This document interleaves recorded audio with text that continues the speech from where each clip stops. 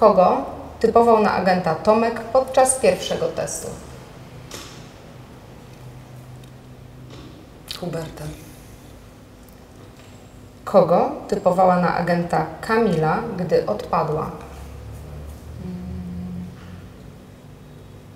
Joasia. Ile dobrych odpowiedzi miał Antek podczas testu, po którym odpadł? A tego pierwszego? Ile miał dobrych odpowiedzi? Pięć. O co najbardziej chciałabyś zapytać agenta? No muszę się zastanowić, ale... Hmm.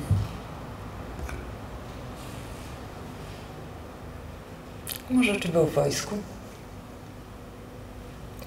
Będziesz miała okazję. Spotkamy się za chwilę. Dziękuję.